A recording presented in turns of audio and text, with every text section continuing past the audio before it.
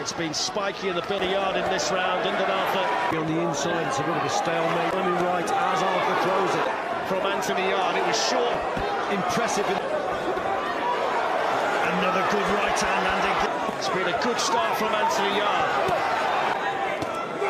It's a good shot. For the jabs of his opponent, Lyndon Arthur. And again, he needs to do more of there, Anthony Yarde. Move Between the pair of them. Good shots from Anthony Yarde. Yarde, Yarde shook the punch off and then fires back with punches of his own and he's putting them together in combinations. Uppercuts getting through the car. from Anthony Yarde. Can Lyndon